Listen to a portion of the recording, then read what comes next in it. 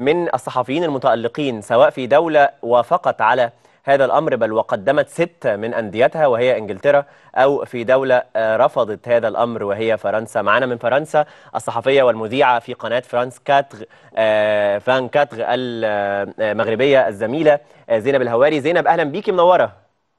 مساء النور. شكرا هاني. كل سنة وأنت طيبة. وأنت طيب وجميع المصريين والعرب. رمضان كريم. الله أكرم. ومن إنجلترا حيث ستة أندية منها تشيلسي اللي بي بيتولى تغطية أخبارها. الصحفي الإنجليزي المتألق نزار كانسيلا. نزار أهلا بيك عبر صدى البلد. ببعت لك تحياتي وتألقك الدائم عبر متابعة أخبار تشيلسي فريقي المفضل. مرحبا. طيب هبدأ معاك نزار. بداية باعتبار إن تشيلسي أحد أندية ستة في إنجلترا قررت المشاركة رغما عن الدوري الإنجليزي نفسه وعن الاتحاد الأوروبي. كيف ترى ما يسمى بنظام الدوري أو السوبر الأوروبي المفروض ينطلق الموسم اللي جاي بحسب ما قالت الأندية؟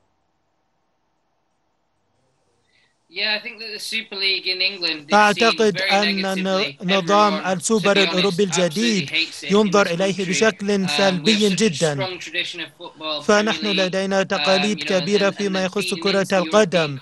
والبطولة دائما تكون تنافس أوروبي. لذا أن نرى السوبر الأوروبي الجديد. أعتقد أن البعض حتى لا يفهموا فكرته. ف الكرة الأمريكية مختلفة عن كرتنا ونحن لا نعتقد أن كرة القدم يجب أن تكون نظام سياسي ولكنها يجب أن تتبع تقاليدها.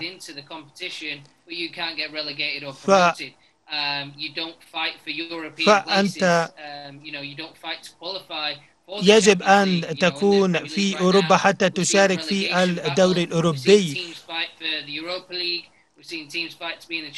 ولكن إذا كان ال super league هنا أعتقد أن إذا كان إذا كان السوبر الأوروبي رسالة إيجابية كانت الناس سيقبلها ولكننا لا نرى هذا.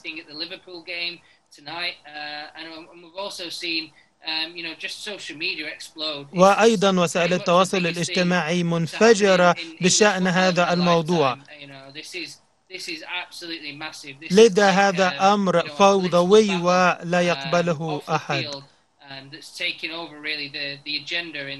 وأعتقد أنه يغير الأسس في كرة القدم. في نعم شكرا نزار. ابقى معي. أنتقل إلى زينب الهواري من فرنسا الرافضة لانطلاق هذا الأمر بل وأنديتها حتى رفضت وتحديدا باريس سان جيرمان زينب باريس سان جيرمان في وقت قريب قوي كان بيتقال عليهم إن هم بيبوظوا كرة القدم بالفلوس اللي بيدفعوها. دلوقتي بقت باريس سان جيرمان بتحمي كرة القدم برفضها إقامة ال super league. شايفة إزاي القصة وشايفة إزاي رفض باريس سان جيرمان المشاركة؟ نعم صحيح فريق باريس سان جيرمان من بين الأندية التي رفضت هذه الفكرة تأسيس دوري أوروبي مغاير أو منافس لدوري الأبطال دوري أبطال أوروبا حاليا وهي هو قرار صائب بالنسبة إلى الفريق الفرنسي. الحكومة الفرنسية أيضا رفضت هذه الفكرة وقالت بأنها مستعدة مساندة أنها تساند الاتحاد الأوروبي لكرة القدم وأيضا الاتحاد الدولي لاتخاذ التدابير اللازمة لإيقاف هذا المشروع. إذا فريق باريس سان جيرمان اتخذ قرارا صائبا. لماذا؟ لأنه آه لأنه مشروع سيقتل كرة القدم. ليس فقط الأوروبية بل كرة القدم الدولية. لأنه كما لاحظنا من بين القرارات التي تريد اليويفا اتخاذها منع اللاعبين الدوليين من المشاركة في البطولات الدولية هذا سيؤثر على أداء المنتخبات وأيضا على مستوى الدوريات. اذا قرار صائب جدا وأعتقد وأتمنى أن تنضم إليه أندية أخرى. نعم. آه نزار آه خليني أسألك عن تشيلسي. تشيلسي أحد الأندية اللي مشاركة في هذا القرار والمشاركة في ال super league وبالتالي مع التهديدات الكتيرة اللي سمعناها النهارده من اليويفا قد يمنع تشيلسي من استكمال مشواره في دوري أبطال أوروبا هذا الموسم وهو يلتقي مع ريال مدريد اللي معاه متضامن على مستوى ال super league. شايف إزاي ده ممكن يحصل؟ وتحديدا إن بيريز قال هل بتهددونا بالانسحاب من دوري الأبطال؟ هذا لن يحدث اطلاقا. شايف أنت إزاي مشوار تشيلسي اللي وصل لنصف نهائي دوري الأبطال لأول مرة من سنوات طويلة؟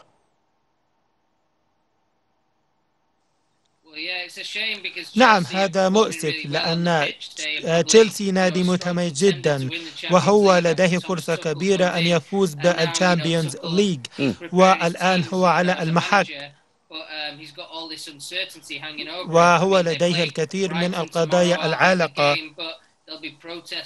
وأعتقد أن تشيلسي ستعارض الاتجاه السائد وأعتقد أن هذه التهديدات تهديدات جدية. وهم يقولوا مثلا أنهم سيخرجوا فرق من ال Champions Leagues وهذا خطر وغير مقبول. لذا ال super league هو تهديد مباشر لل Champions League وفي النهاية ستكون هذه مشكلة كبيرة للاتحاد الأوروبي لكرة القدم عليه أن يتعامل معها. فإذا لم يشارك تشيلسي وريال مدريد في المنافسة ففي النهاية الوضع سيكون صعب وغير مقبول لأحد. فالاثنى عشر فريق الكبار يجب أن يشاركوا في البطولة وإلا لن يكون لها طعم ولا أهميتها الطبيعية لدى هناك أيضا منافسة قانونية في هذا الشأن.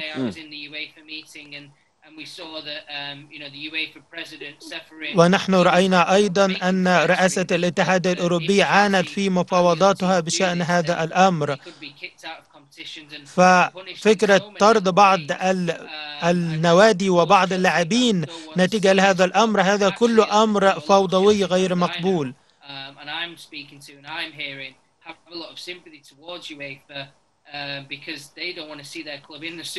فالنهاية البعض لا يريد النوادي الكبيرة أن تشارك في ال super league وهذه معضلة كيف ستحلها؟ لا أعرف. نعم.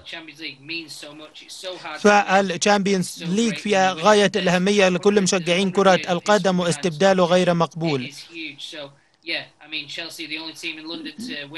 لذا تشيلسي هو الفريق الأبرز في لندن الذي يفوز بهذه البطولات لذا لن يقبل أحد أبدا خروجه من هذه البطولة. نعم. وهذا أمر بصراحة غير مسبوق لم أره في حياتي من قبل. نعم.